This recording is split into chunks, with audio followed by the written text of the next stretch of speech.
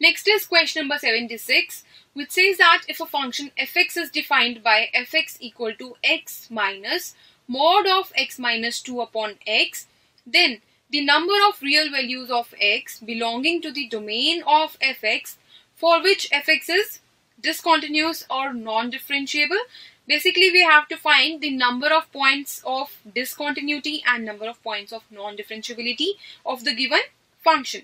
Now the function can be written as fx equal to for x less than 2 it will open as 2 minus x right?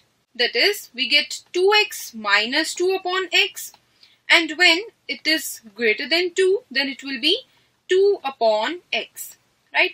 Now let us draw the graph of the given function.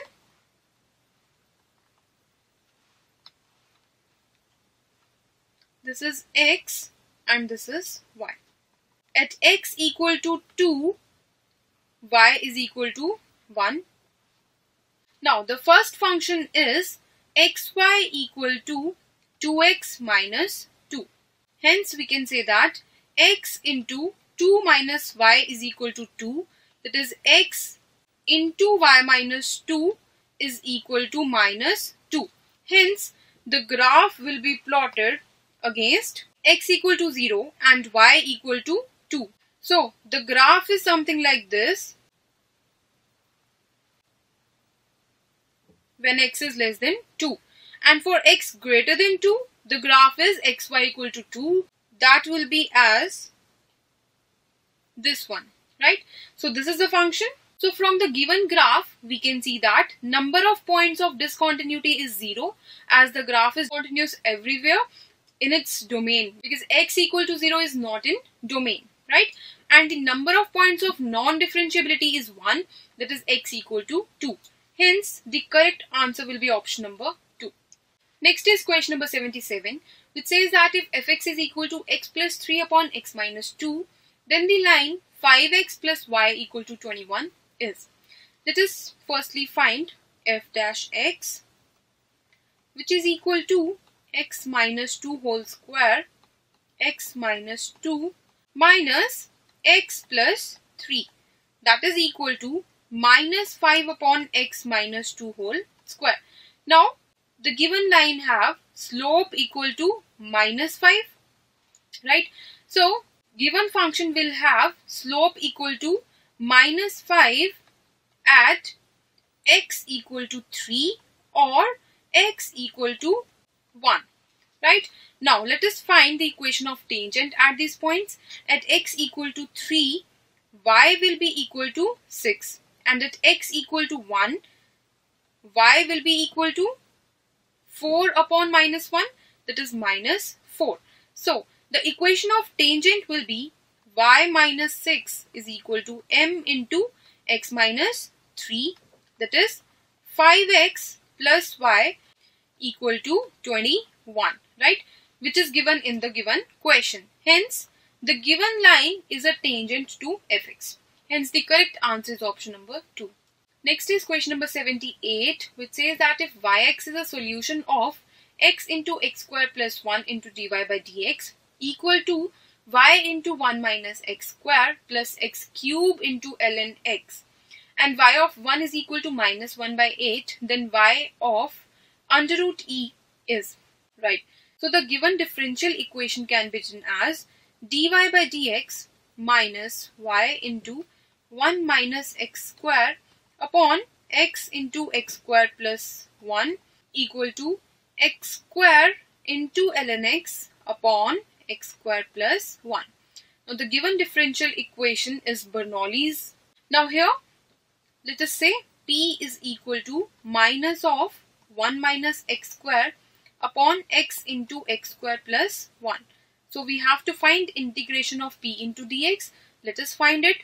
It can be written as integration of x square minus 1 upon x into x square plus 1 into dx which can be written equal to integral 2x upon x square plus 1 minus 1 by x into dx which is equal to ln of x square plus 1 minus ln of x which can be written as x square plus 1 upon x right?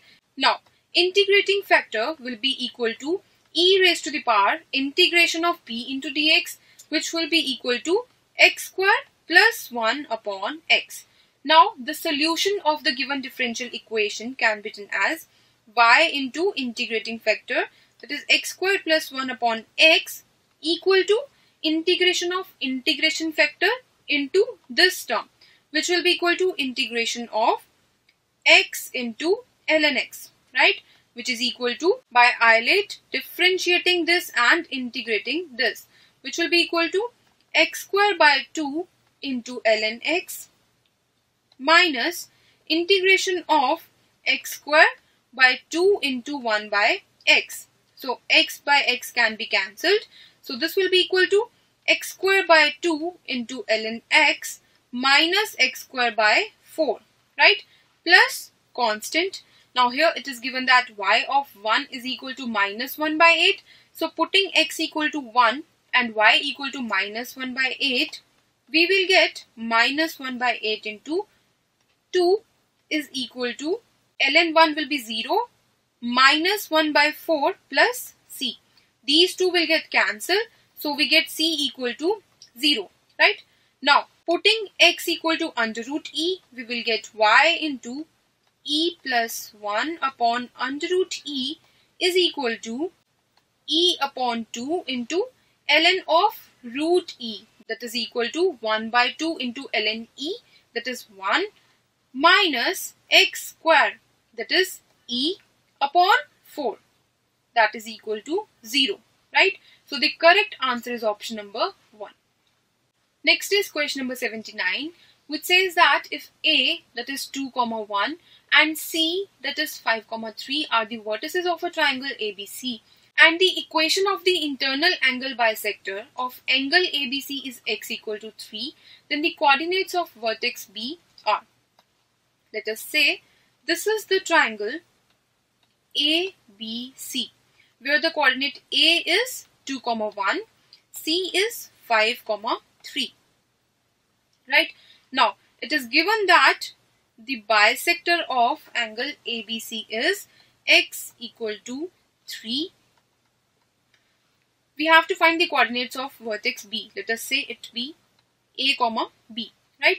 Now, we know that in this triangle, image of A will lie on line BC and image of point C will lie on line AB, right?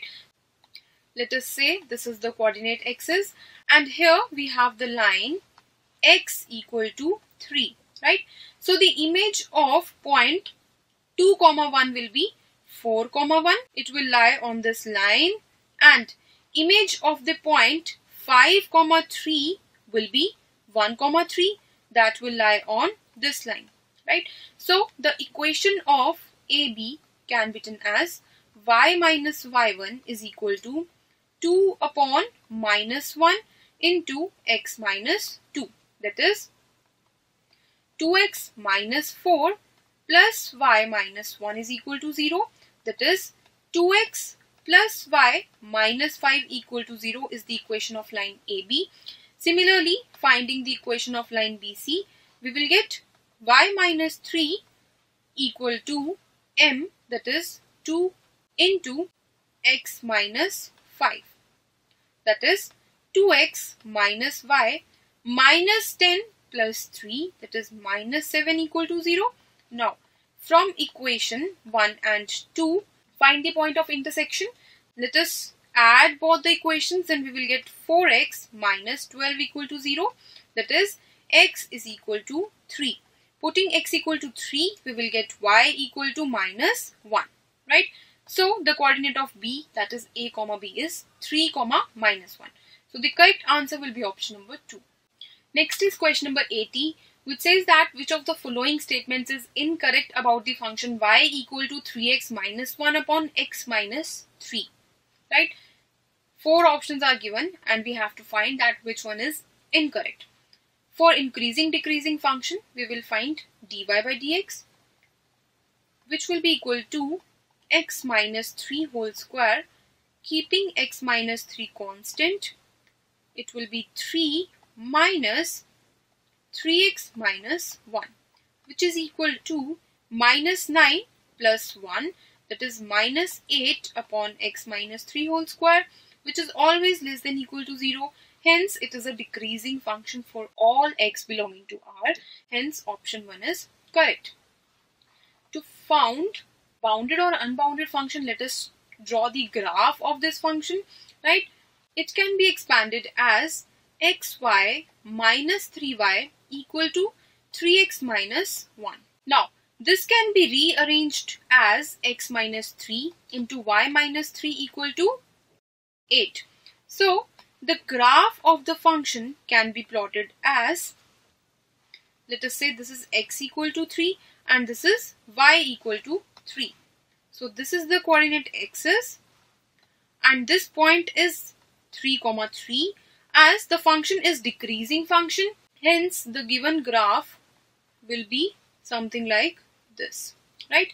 Clearly, we can see that the given function is an unbounded curve. Hence, this option is also correct. Now, in fourth option, it is said that the graph of the curve lies only in first and third quadrant, which is not true because the graph is lying in first, second and fourth quadrant. Hence, this is incorrect statements. Let us check option number 3 also, which is talking about its inverse. To find the inverse, let us find x. So from equation 1, we get, taking x common, y minus 3 equal to 3y minus 1.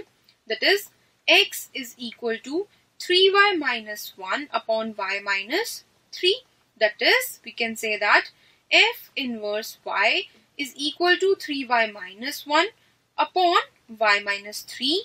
That is, we can say that f inverse x is equal to 3x minus 1 upon x minus 3 which is equal to the function itself. That is, the given function is its own inverse. Hence, option number 3 is also correct. Right? So, the incorrect statement is given in option number 4.